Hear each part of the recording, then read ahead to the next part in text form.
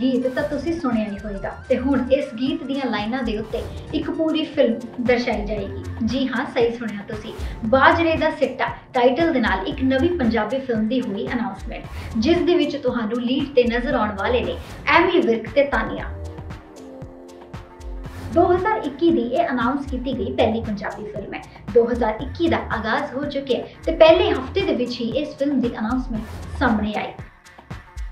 ਐਮੀ ਵਿਰਕ ਤੇ ਤਾਨੀਆ ਦੀ ਜੋ picture social media ਤੋਂ ਸਾਹਮਣੇ ਆ ਰਹੀਆਂ ਨੇ ਉਹਨਾਂ ਤੋਂ ਇਹ ਸਾਫ਼ ਪਤਾ ਲੱਗ ਰਿਹਾ ਕਿ ਇਹਨਾਂ ਦੋਨਾਂ ਦਾ ਵਿਆਹ ਹੋ ਚੁੱਕਿਆ ਹੈ ਤੇ ਕਹਾਣੀ ਵਿਆਹ ਤੋਂ ਬਾਅਦ ਦੀ ਹੈ, ਕਿਉਂਕਿ ਤਾਨੀਆ ਨੇ ਪਿਕਚਰਸ ਦੇ ਵਿੱਚ ਚੂੜਾ ਪਾਇਆ ਹੋਇਆ ਹੈ। ਹੁਣ ਇਹ ਦੇਖਣ ਦਾ ਇੰਤਜ਼ਾਰ ਹੈ ਕਿ ਰੁੱਥੜਾ ਜਾਂਦਾ ਮਾਹੀ ਹੱਸਿਆ ਗੱਲੀ ਵਿੱਚੋਂ ਮੋੜਿਆ ਇਸ ਲਾਈਨ ਨੂੰ ਫਿਲਮ ਦਰਸਾਏਗੀ ਜਾਂ ਨਹੀਂ, ਜਾਂ ਫਿਰ ਕਹਾਣੀ ਕੋਈ ਹੋਰ ਹੀ ਮੋੜ ਲੈ ਕੇ ਜਾਏਗੀ।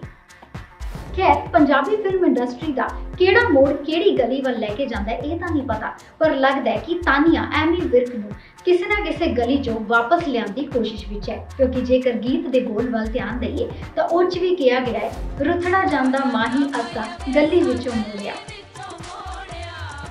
ਹੁਣ ਇਹ ਦੇਖਣ ਦਾ ਇੰਤਜ਼ਾਰ ਹੈ ਕਿ ਇਸ ਫਿਲਮ ਦੀ ਕਹਾਣੀ ਕੀ ਦਰਸਾਏਗੀ।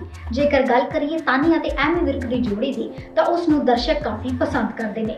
ਕਿਸਮਤ ਸੁਪਨਾ ਵਰਗੀਆਂ ਫਿਲਮਾਂ ਦੇ ਵਿੱਚ ਇਹਨਾਂ ਦੋਨਾਂ ਨੇ ਇਕੱਠਿਆਂ ਕਮਾਲ ਕੀਤਾ ਸੀ। ਹੁਣ ਇਹ ਦੇਖਣ ਦਾ ਇੰਤਜ਼ਾਰ ਹੈ ਕਿ ਇਸ ਫਿਲਮ ਦੇ ਰਾਹੀਂ ਇਹ ਜੋੜੀ ਕੀ ਕਮਾਲ ਕਰ ਜਾਂਦੀ ਹੈ। ਜੇਕਰ ਗੱਲ ਕਰੀਏ ਪ੍ਰੋਡਕਸ਼ਨ ਹਾਊਸ ਦੀ, ਤਾਂ ਸ਼੍ਰੀ ਨਰੋਤਮ ਜੀ ਫਿਲਮਸ ਟਿਪਸ ਇੰਡਸਟਰੀਜ਼ ਤੇ ਐਮੀ ਵਿਰਕ ਪ੍ਰੋਡਕਸ਼ਨ ਦੇ ਬੈਨਰ ਹੇਠ ਇਸ ਫਿਲਮ ਨੂੰ ਪ੍ਰੋਡਿਊਸ ਕੀਤਾ ਜਾ ਰਿਹਾ ਹੈ, ਜਿਸ ਨੂੰ ਡਾਇਰੈਕਟ ਕਰ ਰਹੇ ਨੇ ਜਸ ਕਰੇਵਾਲ ਜੋ ਕਿ ਇਸ ਤੋਂ ਪਹਿਲਾਂ ਪੰਜਾਬੀ ਸਿਨੇਮਾ ਦੇ ਝੋਲੀ ਕਈ ਕਮਾਲ ਦੀਆਂ ਫਿਲਮਾਂ ਪਾ ਚੁੱਕੇ ਨੇ। ਇਸ ਫਿਲਮ ਦੀ ਹੋਰ ਡਿਟੇਲਸ ਦੇ ਲਈ ਤੇ ਪੰਜਾਬੀ ਫਿਲਮ ਇੰਡਸਟਰੀ ਤੇ 뮤직 ਇੰਡਸਟਰੀ ਦੀਆਂ ਗੌਸਿਪਸ ਦੇ ਲਈ ਤੁਸੀਂ ਜੁੜੇ ਰਹਿਣਾ ਬਾਲੀਵੁੱਡ ਬਜ਼ ਦੇ ਨਾਲ। ਜੀ ਦੇ ਲਈ ਜੀ ਮੀਡੀਆ ਨੂੰ ਸਬਸਕ੍ਰਾਈਬ ਕਰਨਾ ਨਾ ਭੁੱਲਣਾ ਤੇ ਤੁਹਾਨੂੰ ਸਾਰਿਆਂ ਨੂੰ ਜੀ ਮੀਡੀਆ ਗਰੁੱਪ ਵੱਲੋਂ a very happy new year. Such.